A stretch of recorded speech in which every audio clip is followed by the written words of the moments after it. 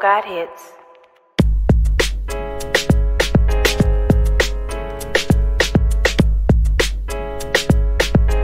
Hey everyone, and thank you so much for joining me today on my YouTube channel. I'm your girl, Robin Nicole, the inspiration specialist, and I'm wired to inspire you to live your authentic purpose. So, guys, I want to talk to you today about the power of the pause.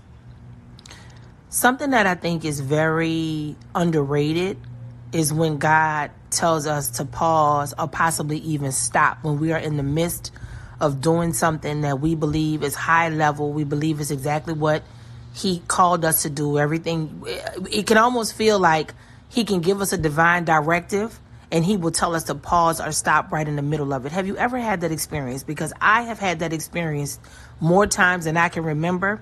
And it wasn't until probably the 50th time throughout my whole life when I was finally able to realize, like, wait a minute, this is not always a bad thing. Oftentimes, this is something that's setting me up for something greater. Sidebar, y'all. These recordings this week, you will hear birds chirping and things outside because I decided to just go outside. It is so gorgeous. I could not just let this day go without me just enjoying the sun and just kind of talking to you guys from this vantage point. So I apologize if it gets, you know, a little active in the background. But catch the message, y'all. It's still a good message. so, anyway, I realize that the power of the pause is quite a game changer. I think that for many of you right now, it is it is something that is causing you to question your ability to hear God and is causing you to question if you are doing the right thing in your life. Okay? Now that's what I'm thinking, but I'm going to tell you what the Holy Spirit told me to give you and I'm actually getting this download as I'm talking to you. It was not planned. Many of you are pausing because God wants to work on your patience. Many of you are pausing because God wants to work on the problem. And many of you are pausing because God wants you to work on your perspective. Okay? You will know which one is specific to you. But the thing that is most important for anybody who is experiencing some type of pause is that there is power in it. You're like, okay, Ro, what do you mean? What are you talking about this power in the pause? What you will understand sometimes is that imagine you are, I'll give you an example, right? Imagine you're at like a cookout or something, right? And, you know, the music is bumping. And somebody got the radio, not a DJ, but the music is bumping is the radio going. And then somebody comes in and they're like, oh, y'all, guess what I got from the store? You're like, oh, what? And they're like, oh, we can't hear you. They'll just press pause, right? Well, the cool thing about you being able to press pause is that some, when something new came in and interrupted, you had the ability to pause the same song that you were enjoying, hear whatever this thing was they came and interrupted with, and when they were done, you hit pause and you hop right back to doing what you were doing. The part that gets a lot of people in the trick bag is when the pause is happening, you forget that once God completes the thing that he is trying to do in that moment that interrupted the moment that you were in is that he will give you the ability to go right back and complete and finish what you were doing. What's happening is many people are so frantic because things have not been going the way they're used to them going. It is causing you to question. It is causing you to think, my God, like, what is going to happen now? Some of y'all have completely forgotten that because God made you hit the pause button for so long. Hear me out. I'm about to set somebody free right here. Some of you forgot that you hit pause because the thing that came in and God said, okay, look, pause that. Let me show you this. You've been dealing with that quote unquote, let me show you this for so long now. You completely forgot that you paused the other thing. You have become inundated with the thing that came in and interrupted. Do not become inundated with the interruptions. My God, do not do that.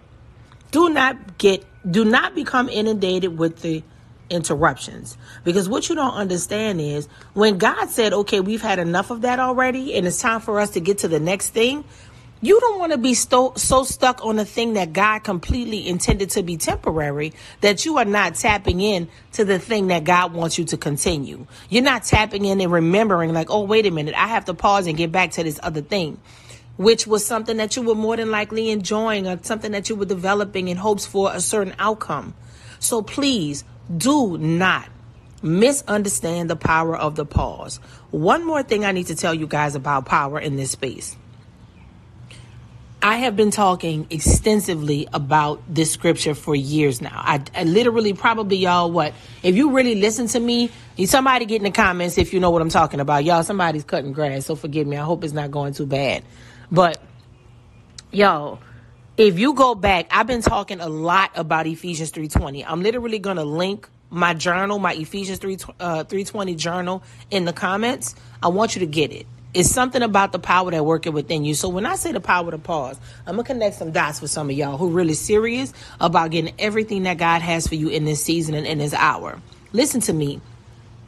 The power that working within you, excuse me, the power that working within you, it is important that you understand that that is your power of connection with the Lord.